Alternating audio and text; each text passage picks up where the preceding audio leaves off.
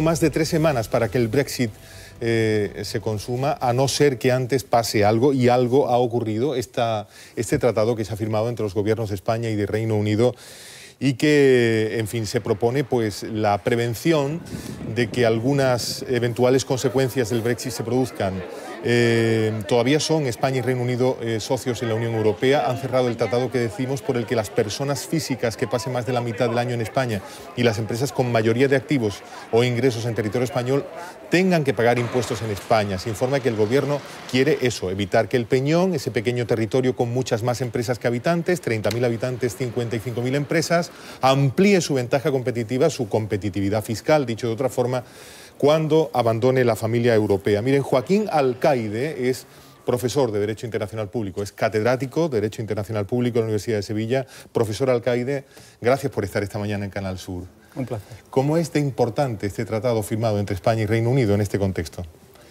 Bueno, es relevante puesto que bueno, significa un marco de concordia, de cooperación entre dos estados que tienen un una controversia o tienen varias controversias abiertas desde hace eh, muchos años.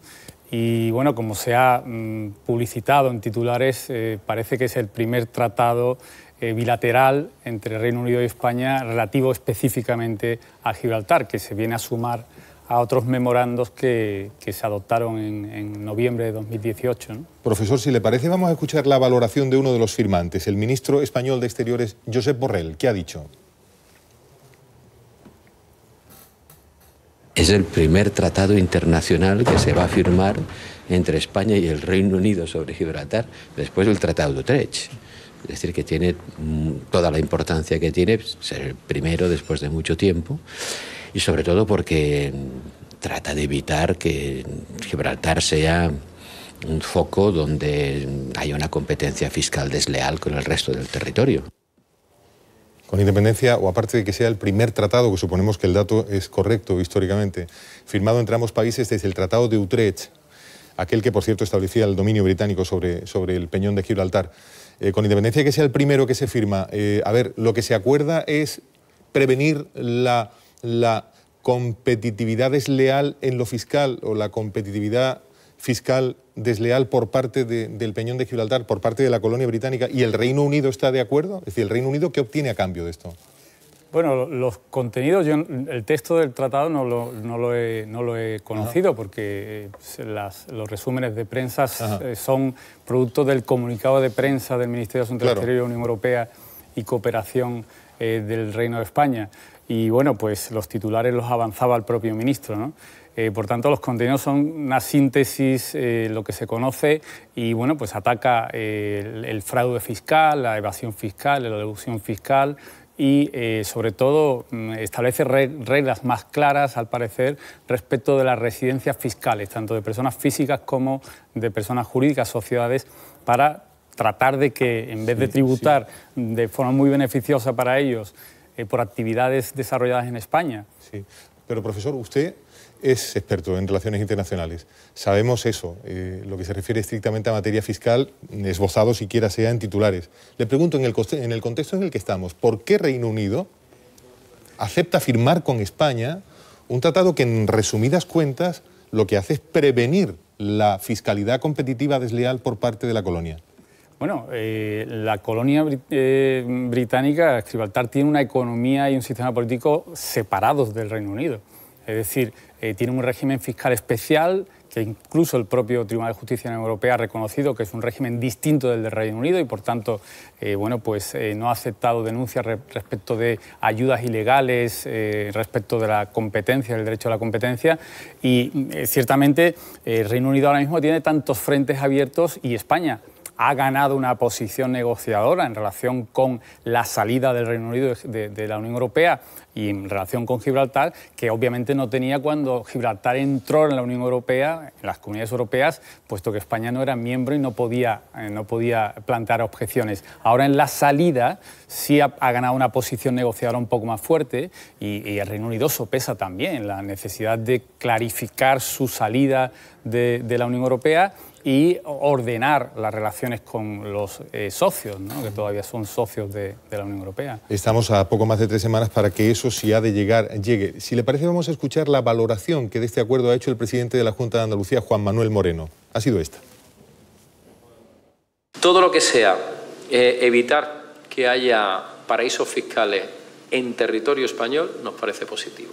Y Gibraltar es territorio español, una colonia, pero que está dentro del territorio español y que a veces fagocita y parasita eh, precisamente la economía no solamente de Andalucía, sino también la española. ¿Está en la misma línea de valoración, digamos? ¿O hay matices? Eh, bueno, las calificaciones eh, no se atienden a los estándares internacionales, es decir, internacionalmente Gibraltar no, es considerada por la OCDE, por ejemplo, por el Grupo de Acción Financiera, un paraíso fiscal no cooperativo. Es decir, por ejemplo, Gibraltar subió eh, su tasa impositiva por encima del 10% justamente para no ser considerada un paraíso fiscal. Y, por tanto, ellos tienen mucho celo e incluso el Fondo Monetario Internacional llevó a cabo una evaluación solicitada por el propio gobierno de Gibraltar eh, respecto de, servicios bancarios, eh, servicios de, seguros, de, inversiones eh, y, y, esa evaluación del Fondo Monetario Internacional del principio de la década de los 2000 eh, bueno, fue, fue mm, una, valoración en la que se constataba que de los muchos principios que están en los estándares internacionales, Gibraltar cumplía los suficientes, no todos, pero los suficientes para no ser considerado un paraíso fiscal no cooperativo. En nuestra mesa están Juan Manuel Márquez, Lola Tortosa, Paco Morón. Aquí tenéis al profesor Alcaide, Joaquín Alcaide, catedrático de Derecho Internacional Público de la Universidad de Sevilla. Y tenemos este tratado, eh, tratado internacional firmado por los gobiernos de España y, Reino Unido. Algo que comentar, Lola yo quería preguntarle, porque eh, la lectura que se ha dado también, como estamos al borde de, unas elecciones y el gobierno actual, pues no sabemos si va a continuar, pues se ha hablado de, cierta provisionalidad en este acuerdo, no sabemos si se va a cumplir. También se habla de maquillaje, es decir, de, precisamente porque Gibraltar tiene mucho interés en, no aparecer como un paraíso fiscal. En ese sentido, ¿cree que este acuerdo va, a resolver los problemas que hay en la, entre lo que es la España que rodea a Gibraltar? Si le va a resolver alguno de esos problemas? Bueno, puede contribuir. Es verdad que, el acuerdo simplemente ha sido firmado ante referéndum, por tanto tiene que ser eh, eh, celebrado por el Consejo de Ministros, eh, también por la materia tiene que ser aprobado por las Cortes y justamente ayer se disolvieron las Cortes. Hoy se publica el decreto de disolución de las Cortes y la convocatoria de elecciones generales. Por tanto, pero el, acuerdo tiene que pasar y, no, no creo que pueda ser validado o autorizado por, las, por la Diputación Permanente. Requiere la convalidación por el Congreso que esperar a la constitución de las nuevas Cortes Generales para obtener esa autorización. Eh, tanto tenemos un, un, interim, pero el texto del acuerdo ya se ha fijado con la firma de, los ministros y secretarios de Estado británicos.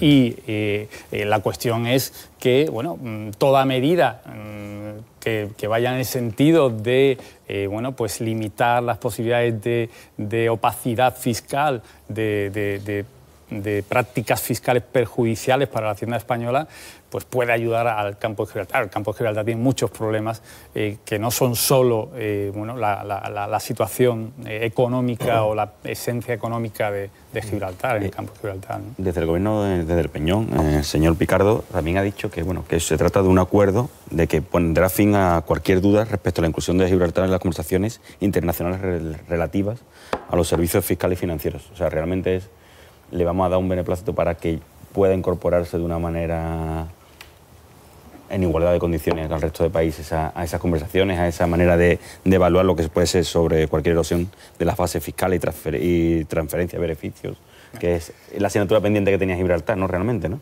Con la prudencia de que, de que yo no soy especialista en derecho fiscal y financiero, y, que no conozco el texto y que no sabemos cómo se aplicará el texto en la práctica, eh, bueno, todo lo que sea reforzar la transparencia y todo lo que sea reforzar la, precisión de las reglas relativas a la, por ejemplo, eh, determinación de la residencia fiscal de personas físicas o personas jurídicas, eh, bueno, pues irá en ese sentido de, bueno, pues aflorar la economía o las posibilidades de, de lavado de dinero, la posibilidad de ocultación de, dinero, eh, de ocultación de beneficios, de tributación eh, beneficiosa en detrimento de la hacienda pública española y todo eso pues, podrá contribuir obviamente a, mejorar la imagen de Gibraltar y a mejorar las relaciones de Gibraltar con el campo de Gibraltar y, bueno, pues la, economía del campo de Gibraltar. Pero es como si este tratado, este tratado lo que hace es ayudar a Gibraltar a situarse a nivel europeo en una situación de, igualdad.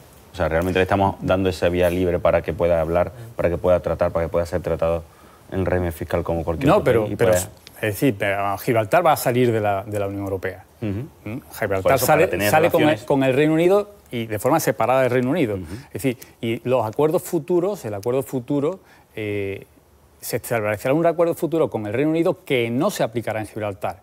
Y, cualquier acuerdo de la Unión Europea con Gibraltar, España tiene la llave. Eso es lo que realmente España eh, ganó en la negociación última de, 25 de, noviembre de 2018. Y ahí España sí va a tener la llave, reconocida por la Unión Europea, ojo, no reconocida por el Reino Unido. El Reino Unido negociará con la Unión Europea. El Reino Unido lo que sí ha reconocido es que el acuerdo de retirada eh, eh, contempla una cláusula de celebración de un acuerdo de relaciones futuras que no incluirá a Gibraltar por tanto, eh, España está en posición todavía de establecer o, de determinar o de influir decisivamente en cuál sea la relación de la Unión Europea con Gibraltar. Ahora, lo que se está estableciendo, obviamente, porque una vez que el Reino Unido sale de la Unión Europea, ya las relaciones serán con la Unión Europea y con los Estados miembros y más en relación con Gibraltar, que no será objeto del tratado de la Unión Europea eh, eh, con, con, el Reino Unido sobre las relaciones futuras. Por tanto, las relaciones futuras de Gibraltar con la Unión Europea pasan por un acuerdo de la Unión Europea bendecido por España o por relaciones bilaterales entre el Reino Unido y España. En, en, cualquier caso, España tiene una posición negociadora muy fuerte. Mm. Eh, yo creo que ha sido muy aclaratorio lo que ha hecho el profesor, que no conocemos el tratado lo cual conocemos el titular, que es el primer tratado, y esto es importante, pero ahora ya, pues prácticamente no sabemos nada. Pero yo quiero saber, ¿qué margen temporal hay para que no se produzca un Brexit duro? Mm, lo que quede de aquí al 29 de marzo. Y digo, ¿y de aquí al 29 de marzo es posible conseguir una prórroga por parte de la Unión Europea? Por supuesto. No, por parte de la Unión Europea no. Sí. Por parte del Reino Unido. Bueno, tendrá que ser Reino Unido. Por parte unilateral del Reino Unido. no, no, no, unilateralmente no. Tiene que ser acordada por unanimidad por el Consejo Europeo Eso de 27. Es decir, pero claro, tendrá que ser el Reino Unido el que pida pero Lo que cabe unilateral del Reino Unido es el desistimiento de su propuesta. claro, eso, el Tribunal de Justicia Europea lo ha dicho claro. Es decir, tienes todas las opciones todavía de quedarte en la Unión Europea. A pesar de la que estás liando, mm. tienes todas las opciones de decidir me quedo en última instancia. Ahora, claro, ya no se puede celebrar un segundo referéndum, no da tiempo. Pero, yo, lo que pregunto es, supongamos que el Reino Unido y Teresa May eh, en estos días solicita un aplazamiento temporal del Brexit. ¿Es seguro que la Unión Europea se lo vaya a conceder? Pues seguro no es, pero la Unión Europea. Yo creo que, que, se lo concederá.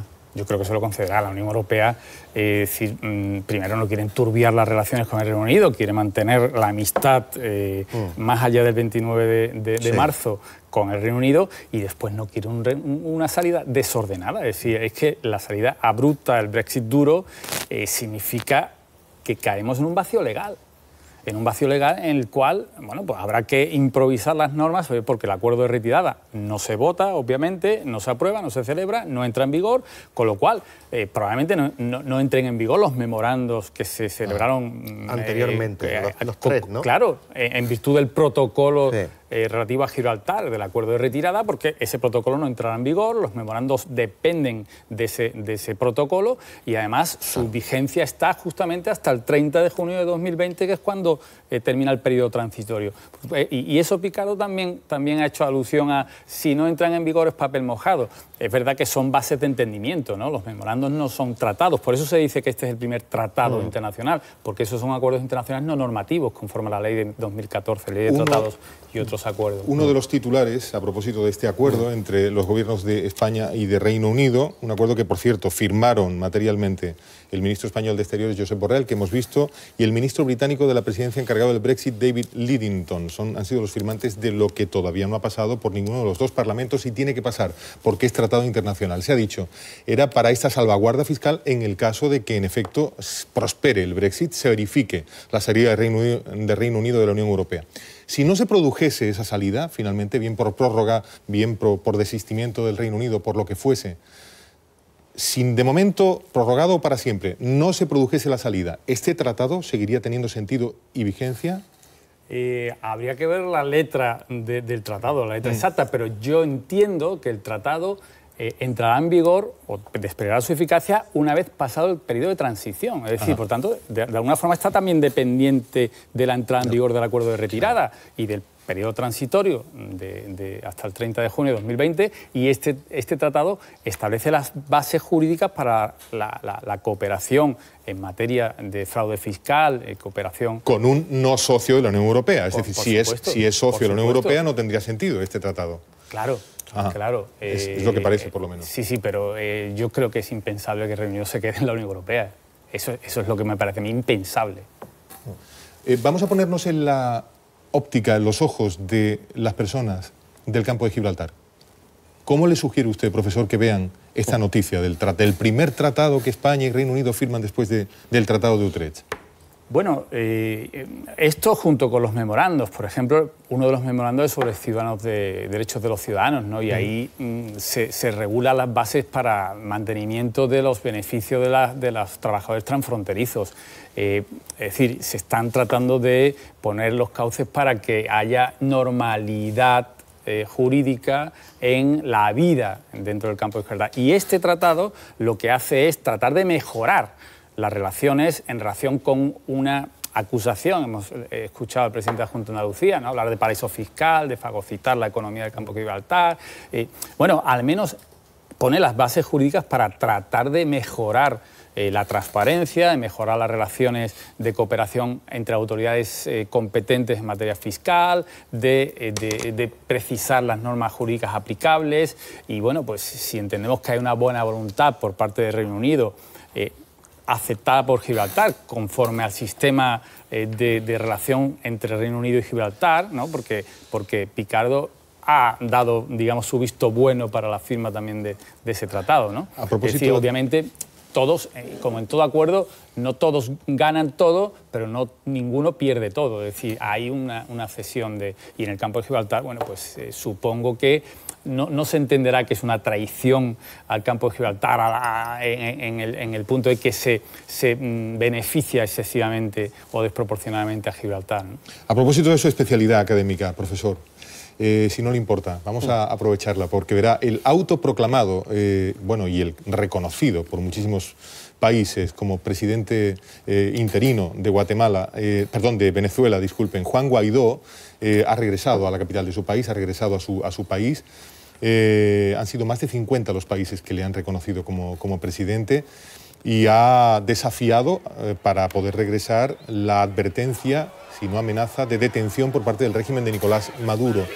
Eh, Guaidó salió de Venezuela después de la orden que le impedía dejar Venezuela, ha regresado arriesgándose eso, a ser detenido. Hasta ahora no se ha producido esa detención que sepamos y desde luego miles de sus seguidores le han recibido en las calles de de Caracas. La pregunta es inevitable.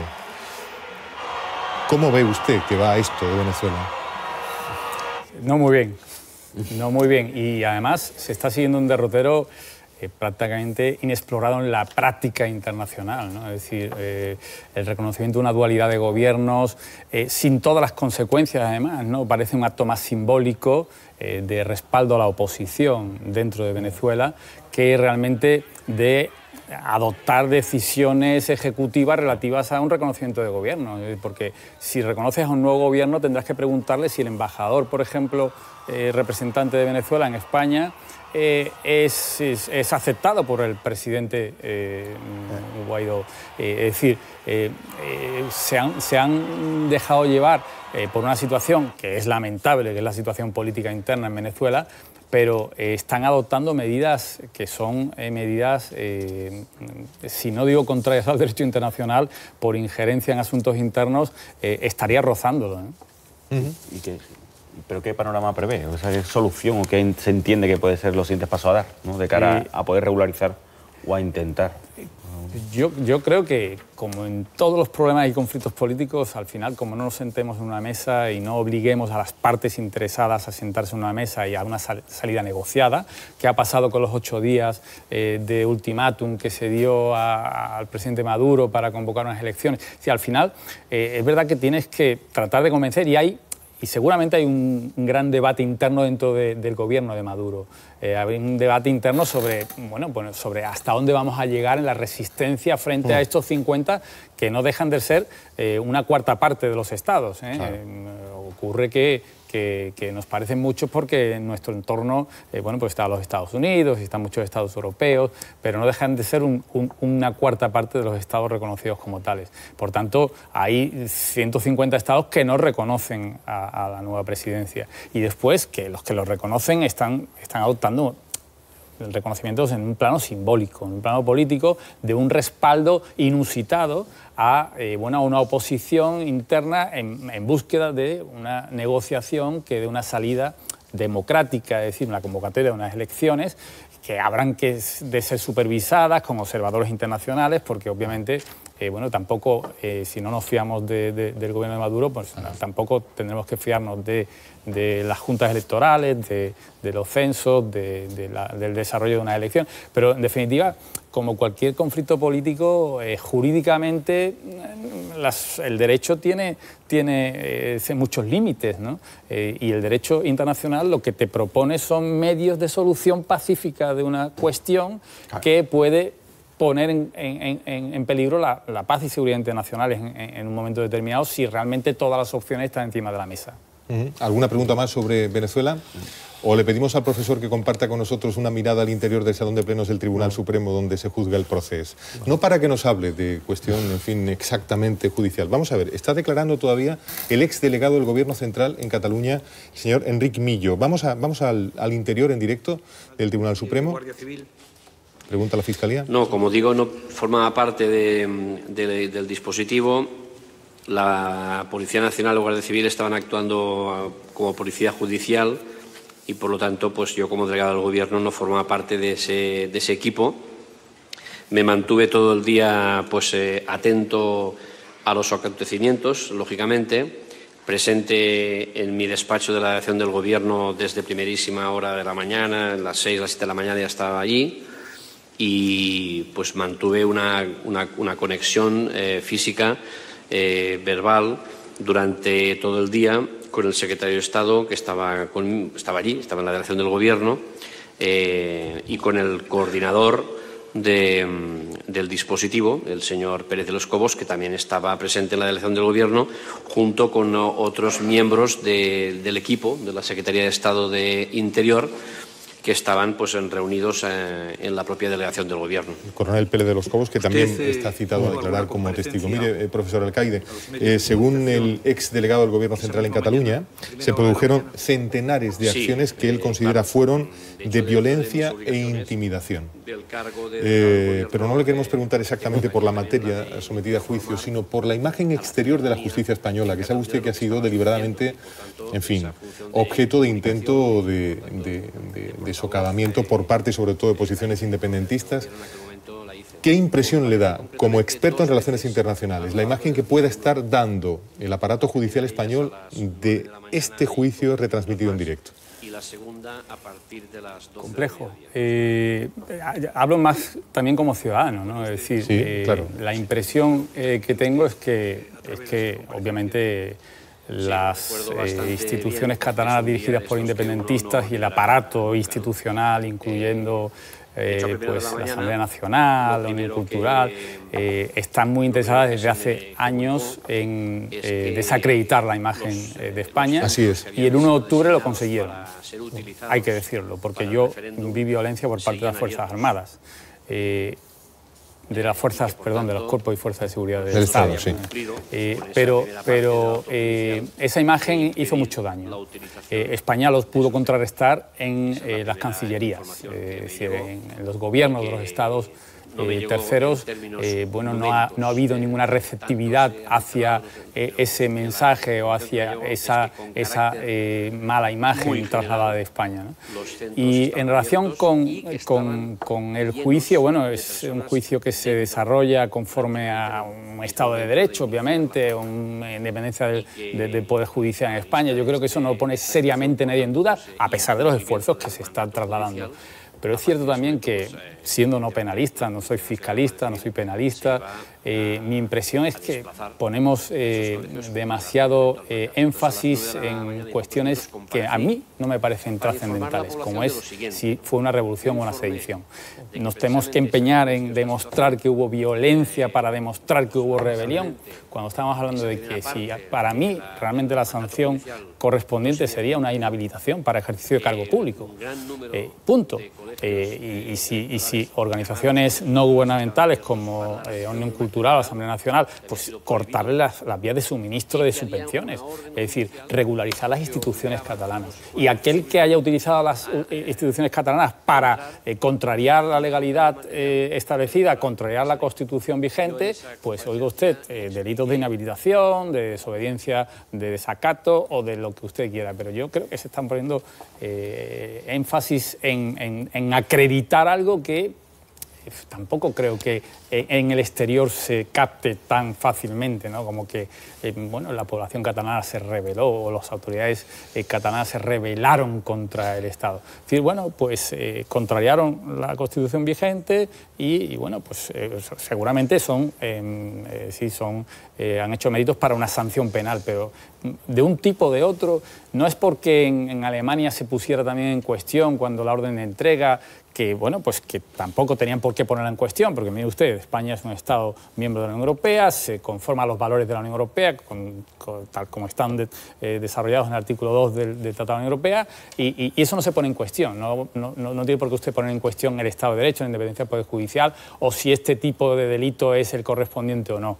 Eh, pero yo creo que en España también se han puesto demasiadas, demasiadas tintas en, esa cuestión. Hemos traído para hablar del pacto entre España y Reino Unido sobre Gibraltar y hemos aprovechado la presencia de un catedrático de Derecho Internacional Público para hacerle otras preguntas que están planteadas en la actualidad. Gracias por esa reflexión de ocupo el lugar del ciudadano que observa lo que pasa. En definitiva es lo que nos parece que más ayuda a los ciudadanos a los que intentamos servir cada día, ¿no? con el relato de lo que ocurre. Profesor Joaquín Alcaide, catedrático de Derecho Internacional Público de la Universidad de Sevilla, gracias por estar esta mañana en Buenos Días Andalucía de Canal Sur.